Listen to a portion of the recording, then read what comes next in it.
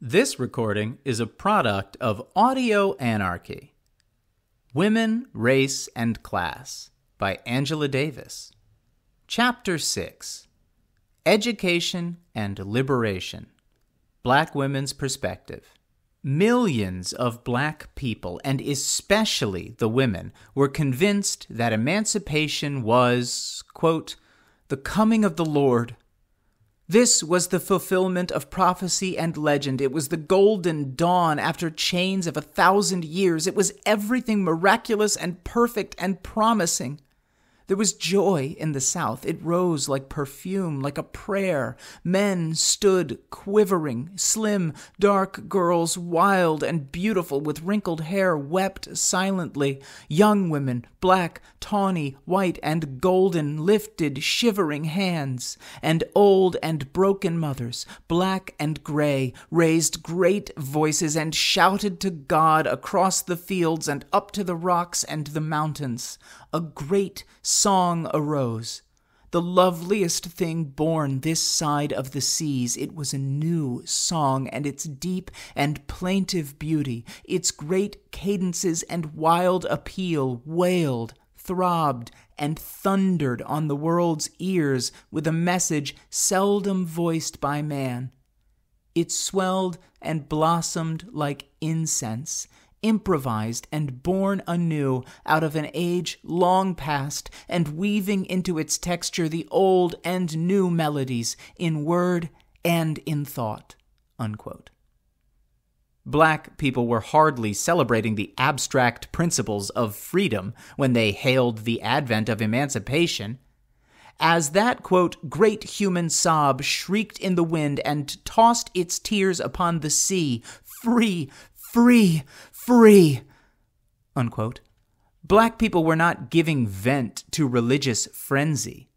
They knew exactly what they wanted. The women and the men alike wanted land. They wanted the ballot, and, quote, they were consumed with desire for schools, unquote. Like the young slave child Frederick Douglass, many of the four million people who celebrated emancipation had long since realized that, quote, knowledge unfits a child to be a slave, unquote. And like Douglass's master, the former slaveholders realized that, quote, if you give an N word an inch, he will take an L. Learning will spoil the best N word in the world, unquote. Master Hugh's prescription notwithstanding, Frederick Douglass secretly continued his pursuit of knowledge. Soon he could write all the words from Webster's spelling book, further perfecting his skill by examining the family Bible and other books in the clandestinity of the night. Of course, Frederick Douglass was an exceptional human being who became a brilliant thinker, writer, and orator, but his desire for knowledge was by no means exceptional among black people who had always manifested a deep seated urge to acquire knowledge. Great numbers of slaves also wanted to be unfit for the harrowing existence they led.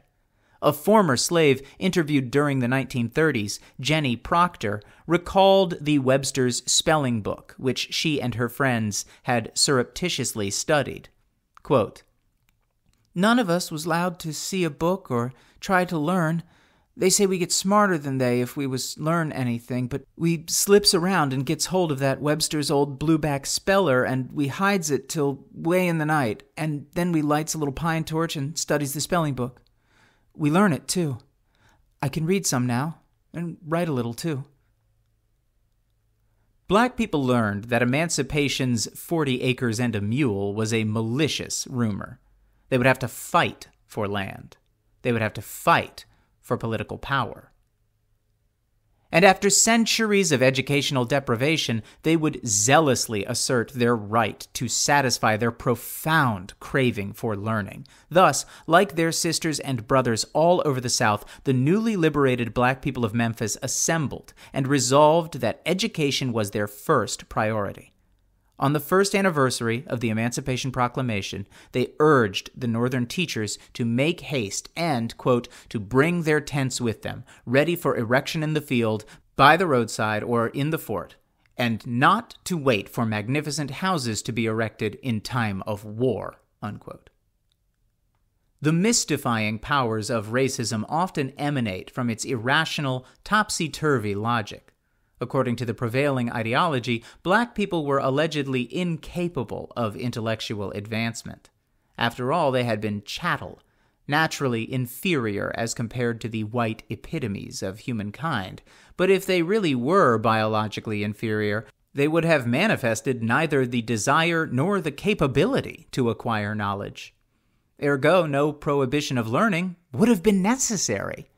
In reality, of course, black people had always exhibited a furious impatience as regards the acquisition of education. The yearning for knowledge had always been there. As early as 1787, black people petitioned the state of Massachusetts for the right to attend Boston's free schools.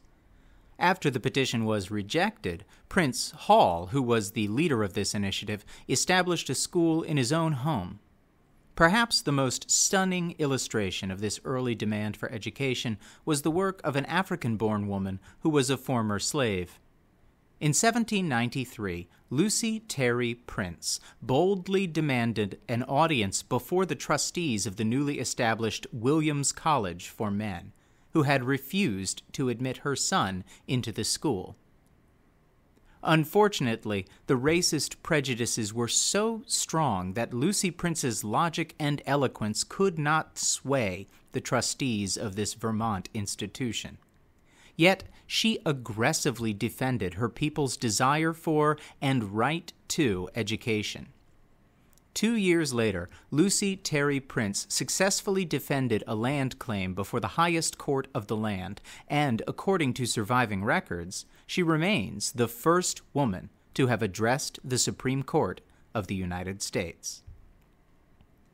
1793 was also the year an ex slave woman who had purchased her freedom established a school in the city of New York, which was known as Katy Ferguson's School for the Poor. Her pupils, whom she recruited from the poorhouse, were both black and white, 28 and 20, respectively, and were quite possibly both boys and girls. Forty years later, the young white teacher Prudence Crandall steadfastly defended black girls' right to attend her Canterbury, Connecticut school. Crandall persistently taught her black pupils until she was dragged off to jail for refusing to shut down her school. Margaret Douglas was another white woman who was imprisoned in Norfolk, Virginia for operating a school for black children. The most outstanding examples of white women's sisterly solidarity with black women and associated with black people's historical struggle for education, like Prudence Crandall and Margaret Douglas, Myrtilla Miner literally risked her life as she sought to impart knowledge to young black women. In 1851, when she initiated her project to establish a black teachers' college in Washington, D.C., she had already instructed black children in Mississippi, a state where education for blacks was a criminal offense. After Myrtilla Miner's death, Frederick Douglass described his own incredulousness when she first announced her plans to him. During their first meeting, he wondered about her seriousness in the beginning. But then he realized that, quote, the fire of enthusiasm lighted in her eye, and that the true martyr spirit flamed in her soul. My feelings were those of mingled joy and sadness. Here, I thought, is another expertise, wild, dangerous, desperate, and impracticable, and destined only to bring failure and suffering. Yet I was deeply moved with admiration by the heroic purpose of the delicate and fragile person who stood, or rather moved, to and fro before me. Unquote. It was not long before Douglass recognized that none of the warnings he issued to her, and not even the stories of the attacks on Prudence Crandall and Margaret Douglas, could shake her determination to found a college for black women teachers. Quote, to me, the proposition was reckless almost to the point of madness. In my fancy, I saw this fragile little woman harassed by the law, insulted in the street, a victim of slave-holding malice, and possibly beaten down by the mob. Unquote. In Frederick Douglass's opinion, relatively few white people outside the anti slavery activists would sympathize with Myrtilla Miner's cause and support her against the mob. This was a period, he argued, of diminishing solidarity with black people. Moreover, quote, the District of Columbia was the very citadel of slavery, the place most watched and guarded by the slave power, where humane tendencies were more speedily detected and sternly opposed. Unquote. In retrospect, however, Douglass confessed that he did not really understand the depth of this white woman's individual courage. Despite the grave risks, Myrtilla Miner opened her school in the fall of 1851, and within a few months, her initial six students had grown to 40. She taught her black students passionately over the next eight years, simultaneously raising money and urging congressmen to support her efforts. She even acted as a mother to the orphan girls whom she brought into her home so that they might attend the school. As Myrtilla Miner struggled to teach and as her pupils struggled to learn, they all fought evictions, arson attempts, and the other misdeeds of racist, stone throwing mobs. They were supported by the young women's families and abolitionists, such as Harriet Beecher Stowe, who donated a portion of the royalties she received from the sale of Uncle Tom's Cabin. Myrtilla Miner may have been frail, as Frederick Douglass observed, but she was definitely formidable and was always able at lesson time to discover the eye of that racist storm. Early one morning, however, she was abruptly awakened by the odor of smoke and raging flames which soon consumed her schoolhouse. Although her school was destroyed, the inspiration she provided lived on and eventually Miner's Teachers College became a part of the District of Columbia public educational system.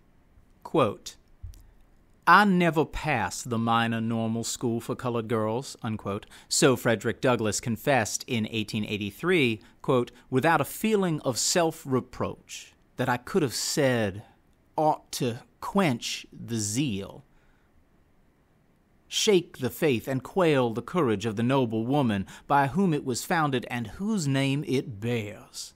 Unquote. Sisterhood between black and white women was indeed possible, and as long as it stood on a firm foundation, as with this remarkable woman and her friends and students, it could give birth to earth shaking accomplishments. Myrtilla Miner kept the candle burning that others before her, like the Grimke sisters and Prudence Crandall, had left as a powerful legacy. It could not have been a mere historical coincidence that so many of the white women who defended their black sisters in the most dangerous of situations were involved in the struggle for education. They must have understood how urgently black women needed to acquire knowledge, a lamp unto their people's feet, and a light unto the path toward freedom. Black people who did receive academic instruction inevitably associated their knowledge with their people's collective battle for freedom. As the first year of black schooling in Cincinnati drew to a close, Pupils who were asked, What do you think most about? furnished these answers. Quote, First, we are going to be good boys, and when we get a man to get the poor slaves from bondage, and I am sorrow to hear that the boat of Tiskilwa went down with two hundred poor slaves. It grieves my heart so that I could faint in one minute. Seven years old. Second, what we are studying for is to try to get the yoke of slavery broke and the chains parted asunder and slaveholding cease forever. 12 year old. Third, bless the cause of abolition. My mother and stepfather, my sister and myself were all born in slavery. The Lord did let the oppressed go free. Roll on the happy period that all nations shall know the Lord. We thank him for his many blessings. 11 year old. Fourth, This is to inform you that I have two cousins in slavery who are entitled to their freedom. They have done everything that the will requires, and now they won't let them go. They talk of selling them down the river. If this was your case, what would you do? 10 year old. The last surviving answer came from a 16 year old attending this new Cincinnati school. It is an extremely fascinating example of the way the students gleaned a contemporary meaning from world history that was as close to home as the desire to be free.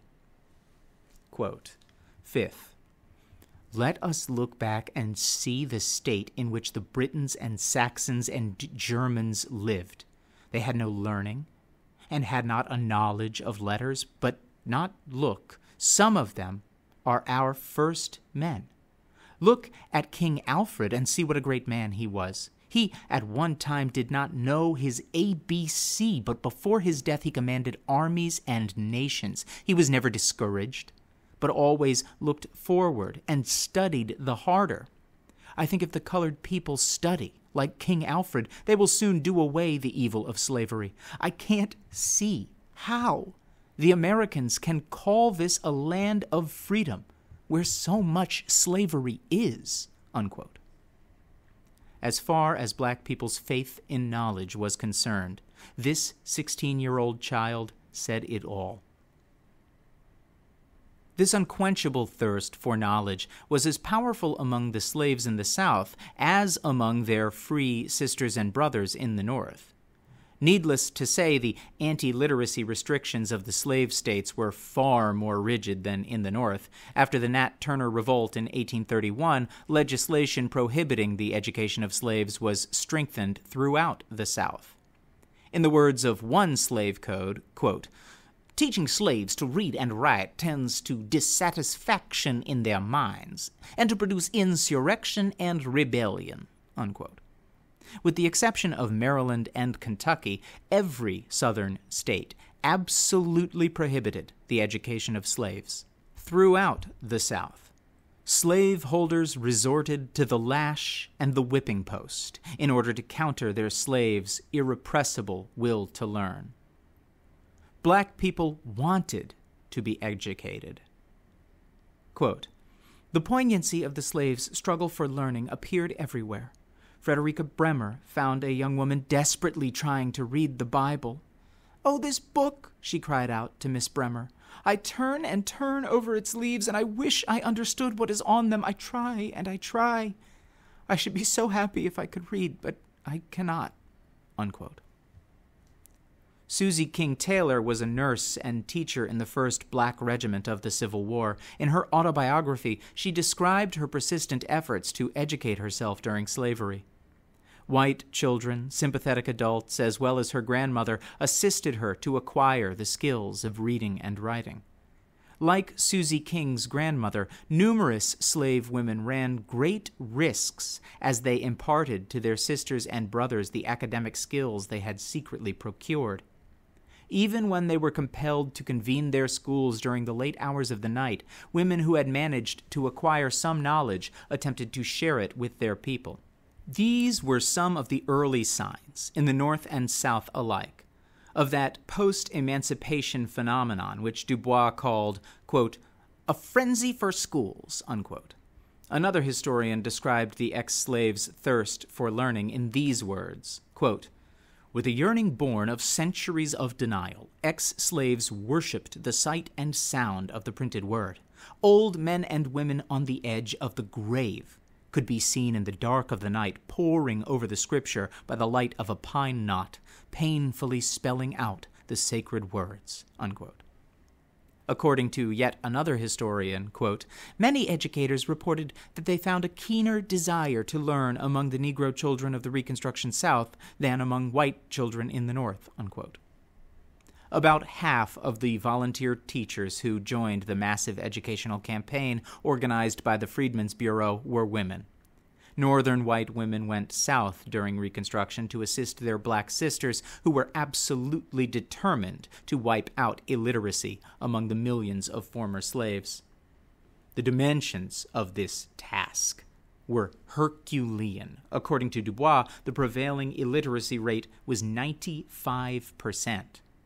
In the histories chronicling the Reconstruction era and in the historical accounts of the women's rights movement, the experiences of black and white women working together in the struggle for education have received sparse attention. Judging, however, from the articles in the Freedmen's Record, these teachers undoubtedly inspired each other and were themselves inspired by their students. Almost universally mentioned in the white teacher's observations was the former slave's unyielding commitment to knowledge. In the words of a teacher working in Raleigh, North Carolina, quote, It is surprising to me to see the amount of suffering which many of the people endure for the sake of sending their children to school. Unquote. Material comfort was unhesitatingly sacrificed for the furtherance of educational progress. Quote, a pile of books is seen in almost every cabin, though there be no furniture except a poor bed, a table, and two or three broken chairs. Unquote. As teachers, the black and white women seem to have developed a profound and intense mutual appreciation. A white woman working in Virginia, for example, was immensely impressed by the work of a black woman teacher who had just emerged from slavery. It, quote, seems almost a miracle, unquote, this white woman exclaimed, that, quote, a colored woman who has been a slave up to the time of the surrender would succeed in a vocation to her so novel, unquote. In the reports she authored, the black woman in question expressed sincere, though by no means servile, gratitude for the work of her, quote, friends from the North, unquote. By the time of the Hayes betrayal and the overthrow of radical Reconstruction, the accomplishments in education had become one of the most powerful proofs of progress during that potentially revolutionary era. Fisk University, Hampton Institute, and several other black colleges and universities had been established in the post Civil War South. Some 247,333 pupils were attending 4,329 schools, and these were the building blocks for the South's first public school system, which would benefit black and white children alike. Although the post Reconstruction period and the attendant rise of Jim Crow education drastically diminished black people's educational opportunities, the impact of the Reconstruction experience could not be entirely obliterated. The dream of land was shattered for the time being, and the hope for political equality waned, but the beacon of knowledge was not easily extinguished, and this was the guarantee that the fight for land and for political power would unrelentingly go on. Quote, had it not been for the Negro school and college, the Negro would, to all intents and purposes, have been driven back to slavery.